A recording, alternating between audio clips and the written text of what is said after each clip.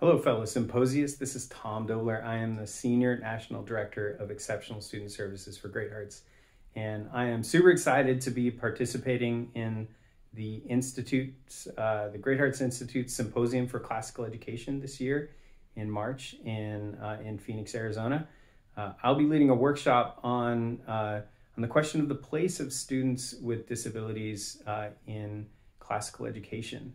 I think that um, a lot of schools uh, sort of struggle to answer the question of, you know, how can we ensure that uh, kids with, with learning challenges um, have access to the same experience, that same rigor um, of a, a, formative education, one that will enrich their lives and lead to uh, a telos um, that is really humanizing, um, especially if you're a public uh, school, a public classical school, where the, the requirements of the IDEA um, maybe seem to be, even be at odds um, with uh, with the with the main purpose of classical education.